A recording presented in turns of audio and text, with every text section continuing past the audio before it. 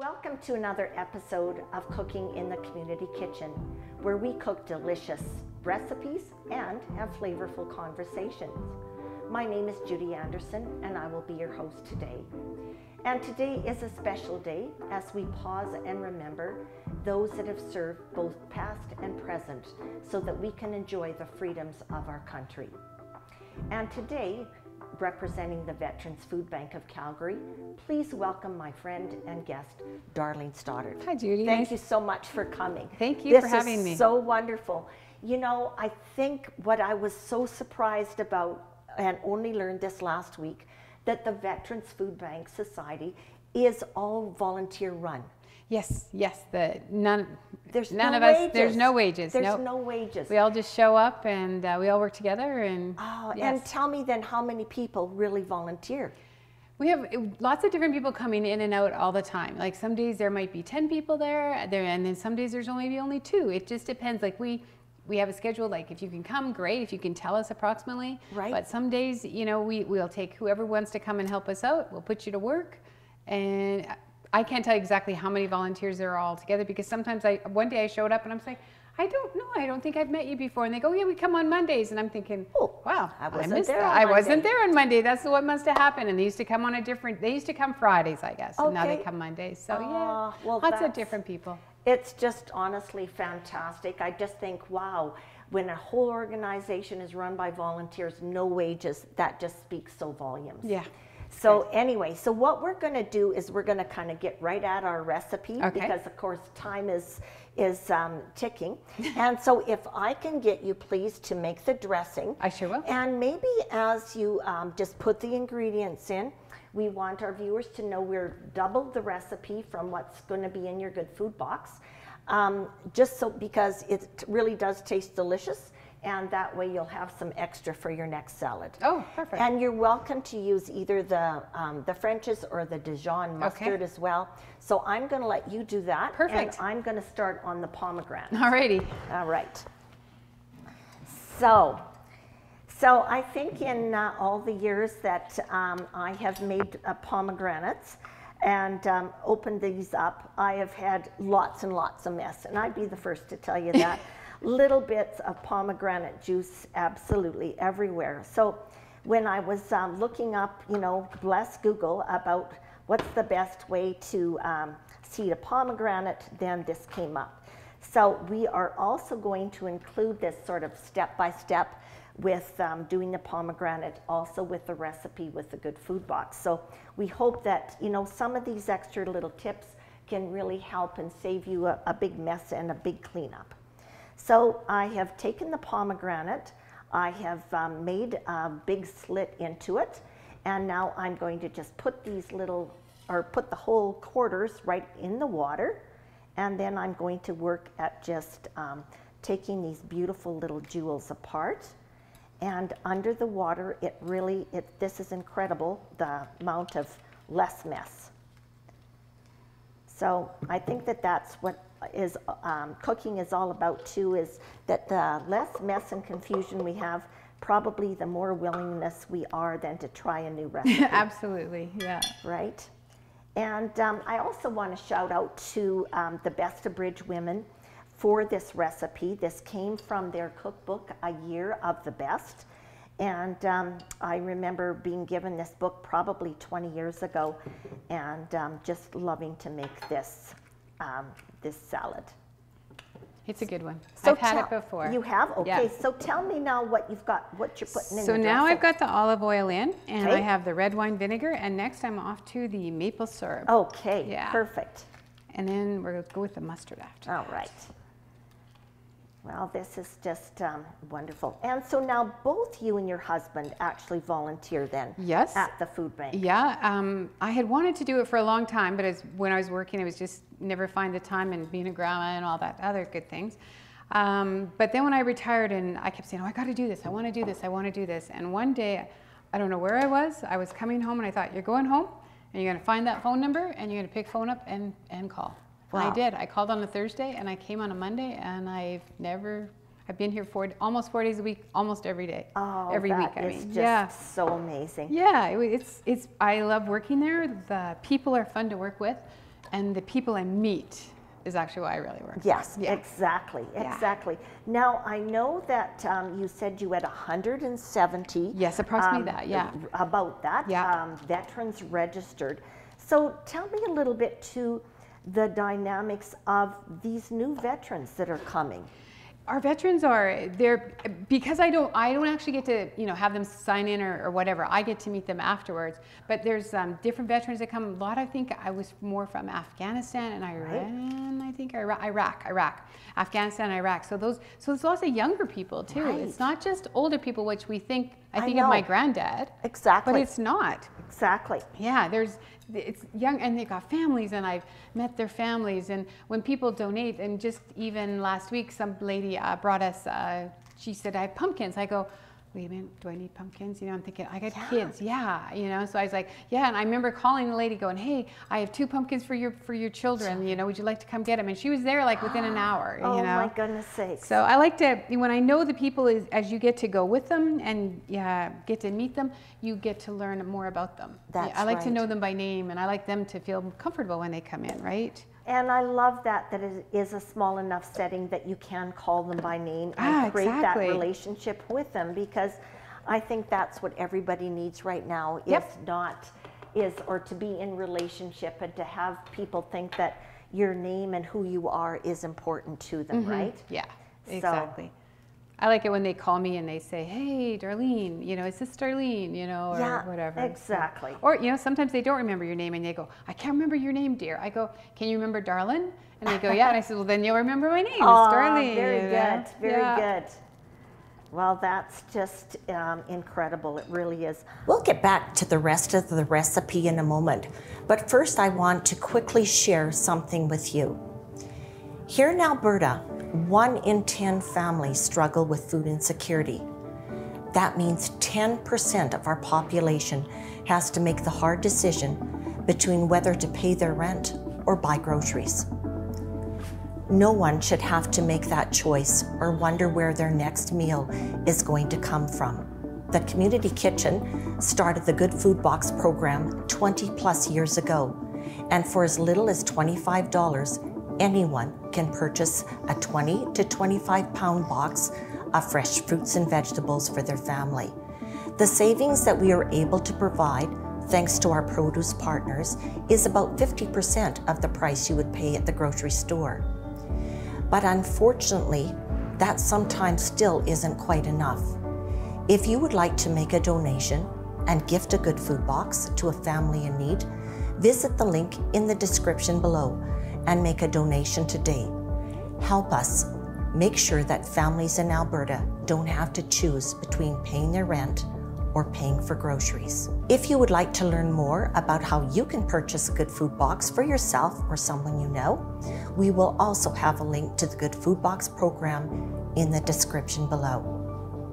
On behalf of everyone at the Community Kitchen, thank you in advance for your generosity.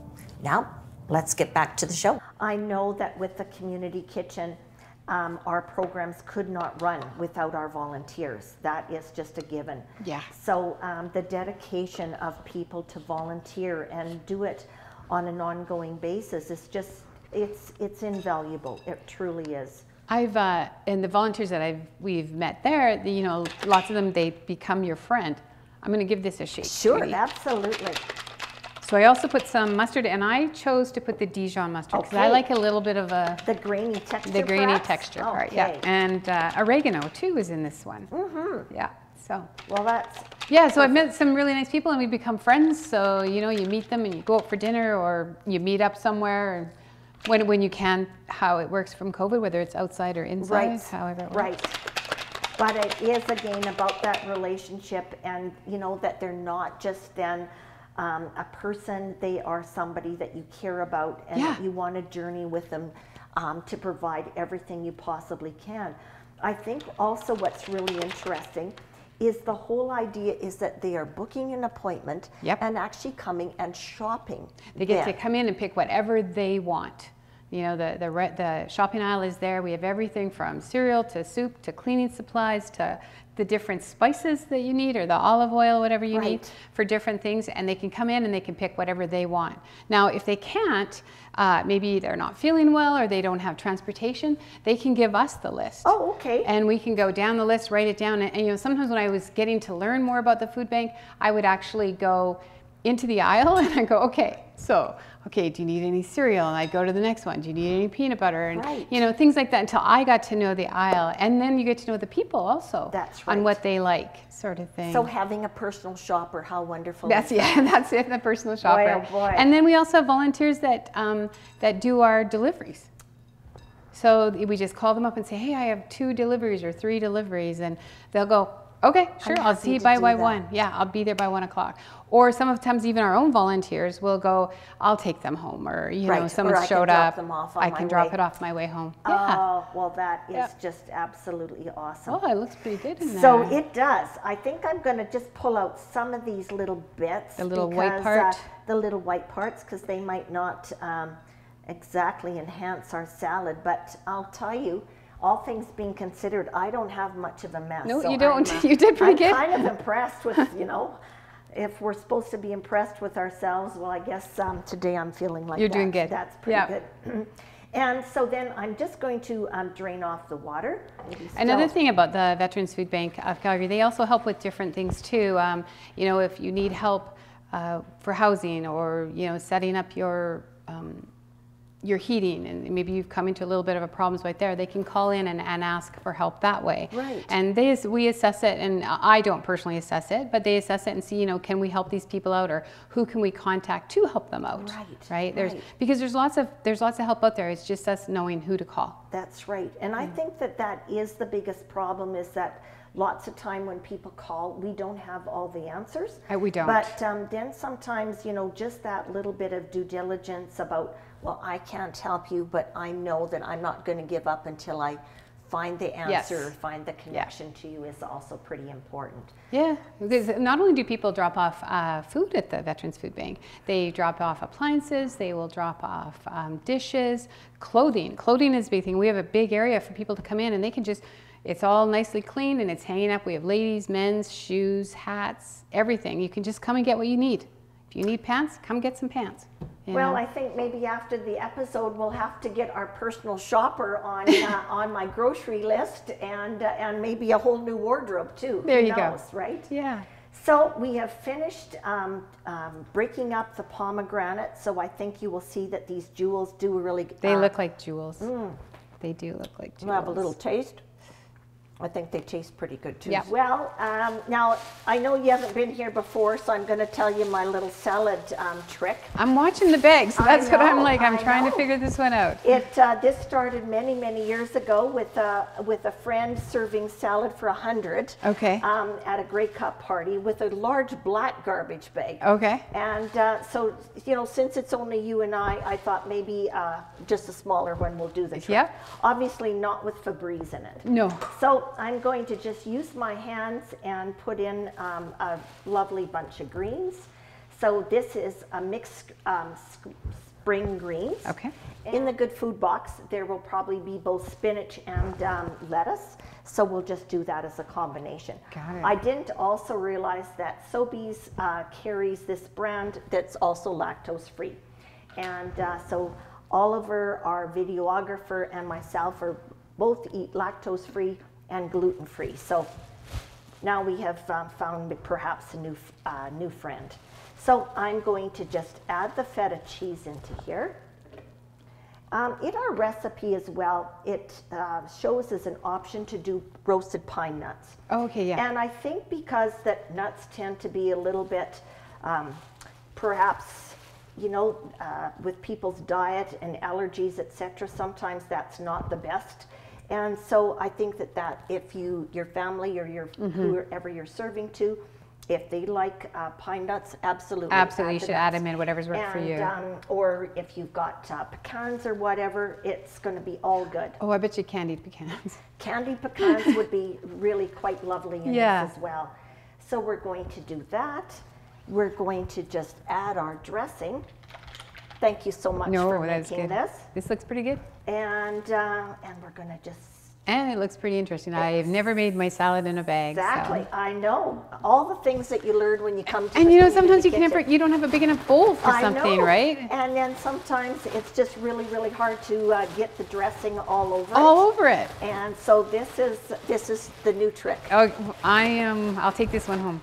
Well, you know what? I think also we never want to stop learning. No. Right? And so this will be maybe uh, our learn for the day. Well, next time somebody tells me they don't have a big enough bowl, I'll go, do you have a garbage bag? I know. So we're just going to platter this. And it even, you know, has a little control over what you can do. We'll just put it around like that. Some, I think we'll maybe Oh, that looks pretty good. uh, Few on top? Extra, absolutely.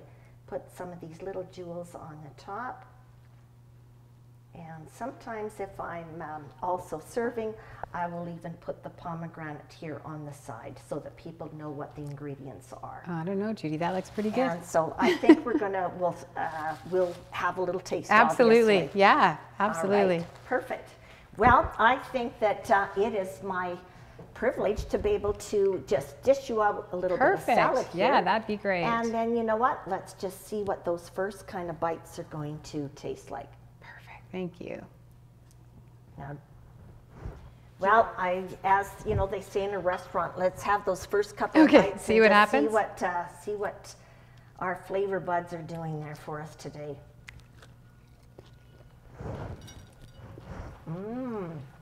I don't know, Pretty tastes tasty, pretty good to me. right? Mhm. Pretty tasty. Exactly. I love, I love pomegranates. It makes me think I gotta go to the store and get some. I think so. and they're so festive, and they look amazing dried as well. Mm-hmm.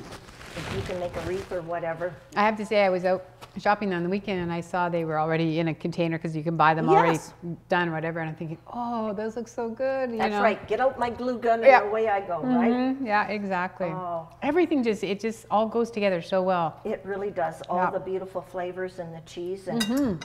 And um, so I think I just want to go back just a little bit to that the, the food bank then started in 2018. Yes. And Ellen did share um, with me, and it kind of touched my heart, that actually the community kitchen delivered the first eight pallets of food to Oh. them so that they could get started back up They, yeah. and or get their doors open. Get their doors open. So. I thought, well, that was really cool, and so he said that he always then has a little bit of a soft spot for the community kitchen. So They do because uh, it's it's good that we can you guys help us and we help you and, and it's like okay let's call community kitchen maybe they might have something or maybe they can know, use this Right? I know. So it really is. It is a beautiful thing. And um, I, I will share just briefly that when my stepdad passed, he had been a veteran. That um, instead of flowers and whatnot, we asked people to donate then through the community kitchen um, t- so that the, the funds would go to the Veterans Food Bank. Right. And uh, we've raised a really lovely amount of money. Oh. And we've been able to give them um, not only fruits and vegetables from the community kitchen, but then laundry soap and coffee and all yeah kinds of other everything things. So- that we all need I know. So it was just a, a really, really beautiful partnership. And I also just uh, want to talk a little bit about then the property up at Hagen, Hagen Alberta Hagen, Alberta, yeah right? yeah. Just north of Caroline, then, Just- right? Yes, I believe I believe that's right. I've been there once, and uh, but um, I talk to Ray a lot when he comes in. We he tells me what's going on up there. Right. They've been putting cabins up there for our veterans to go up and use. You get back to nature. It helps with the healing process. I I know they're reaching for 20. I'm not sure if we have 20 yet, but I know they're getting closer up to that point, and from putting beds in and and Right. think.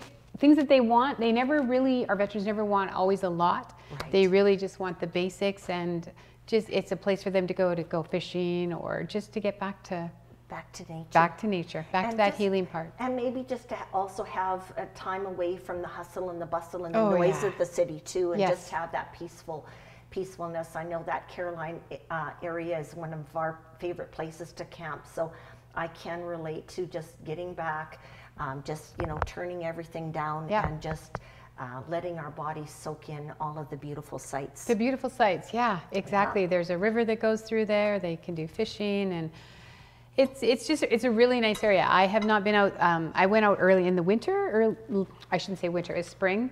And even the one person who was there, him and his dog were out walking around. And I mean, we didn't even see them. It was just get away from nature and, and just go out down by the river or whatever. But look, it it is a very nice place. And Ray has done a great job of of uh, getting it off the ground. Ray and Ellen. So And I hear that there's seven cabins. They is I believe they there's said, for sure seven right cabins now, were yes. all ready, and the idea of um, at least making 20 cabins available, and then also that the veterans can go and have a short stay there. Yes. And uh, And so- there's a big cooking facility there. There's a Oh, big okay. kitchen area that they've got in now, and so then we take some of our food from the that's here that we get, and we take it up there for them to use, whether it's to make chili or soup or whatever, or just to open up a can of soup, Right. right? Whatever. it simple. Yes, keeping it simple, but there's this nice big kitchen for them to to cook some good things. That's right. Yeah. And just be together And be have together. That relationship again. yeah, right? exactly. So that is pretty. Be with uh, people impressive. that that know what you're going through. And I do know that the whole issue and uh, of mental health has been huge during COVID. Mm-hmm. And um, I love also that you said to me that you know we can't always address all the needs what what people come and Right. ask for us, but I think knowing that we've got other partners that we can refer them to that will help um, them in their journey of recovery Absolutely. and uh, and just to, to be the best they are. And I think this goes um, back to what we say here that less we forget. We don't want to forget or take it for granted that these vets have served um, served our country and for us. And now it is our um, time to really be able to step it step it up Step it and up, yeah. uh, and to help them. And, it, and say it's for our veterans, it's also for our veterans, but it's, it's also for our first responders too. We also help them too. So Okay. we do have a room at our at our facility that they can um, meet upstairs. There's that they can uh, play some pool, they can watch some TV, they can just be together. Okay. And then downstairs we have another room where we have had um, we can arrange for counselors to come in to talk to them from there. And it's, it's a really nice room. Actually, I went in there this morning because we were had to go in for something. I thought, oh, this is such a nice warm room. It's very comfortable. It's not very cold or Yeah. anything like that, which is what you want. exactly. You want it for them. So it's good that we can help out veterans plus our, our first responders too. Nope, that's, that's Yeah. absolutely amazing. Yeah. Well, I think we will just um, do maybe just a quick uh, toast. And um, as we look towards uh, Remembrance Day, I hope that people will go out and buy a poppy. And then that um, they will take just a moment on November 11th. Right. Just to um, say a moment of respect or just pause for a moment. And, um, and like I say, just remember the people that are s- still serving, uh, past and present, and that we will be mindful that we don't want these people to be forgotten. That's and exactly do it. whatever. And I know that um, on your website you have a place there where people watching can donate. They can. They can make an online donation. Um, we do it online. They can come in and write us a check or bring us cash, whatever they want. Gift cards, uh, food. You can bring in food. We're there. We're there. Just give us a call, and we will. Well, we will let you know the, the address and the door, uh, what time we're open, and can come on in. Well, that's perfect. And it- if you want to volunteer. Oh, yes, right. exactly. And if you want to wanna volunteer, Well- exactly. Well, so. that's perfect. And I also love it that the philosophy is very similar to the community kitchen in that it is a hands up program Hands up. instead of a hand out. Yes. So anyway, well, I thank you so much for Thank being my guest and for um, just volunteering. How amazing that is. And thank you so much for Oh, serving the Thank you. veterans. Thank you for having me. You're so welcome. Hi, I'm Sunday Nordine, CEO of Community Kitchen. Thank you for watching this episode of Cooking in the Community Kitchen. Be sure to subscribe to the channel so you never miss a recipe. And if you'd like to learn more about our programs or would like to make a donation, please visit us at ckpcalgary.ca.